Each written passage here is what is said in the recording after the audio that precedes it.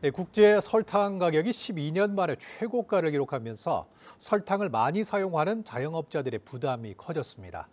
식품 가격의 도미노 인상으로 이어질 가능성도 있어서 가뜩이나 물가 부담이 큰 서민 가게에 시름이 깊어졌습니다. 보도에 김지우 기자입니다. 제주 시내 한 꽈배기 전문점. 바삭하게 튀겨진 꽈배기에 설탕 옷이 입혀집니다. 이 가게에서 매달 사용하는 설탕량은 15kg 남짓.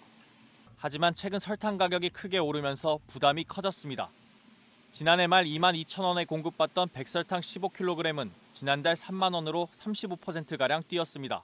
처음 오픈할 때 물건값 들어오는 거랑 지금이랑 비교해 보면 다른 것도 많이 올랐지만 설탕이 비교했을 때 많이 올랐더라고요. 그래서 깜짝 놀라기도 하고 또 앞으로 더 오른다니까 걱정도 되고 카페도 상황은 마찬가지입니다. 시럽과 파우더 등 설탕을 원료로 하는 제품을 많이 사용해 부쩍 오른 가격이 부담스럽습니다. 음료 가격은 그대로고 카페 시럽이나 아니면 그 모든 시럽이나 그 스무디나 이런 들어가는 모든 원자재가 계속 차츰차츰 인상하고 있는 상황이거든요. 카페에서 사용하는 과일청에도 설탕이 많이 들어가는데요. 설탕값 상승세가 이어지면서 이와 같은 가공식품의 도미노 인상도 우려되고 있습니다.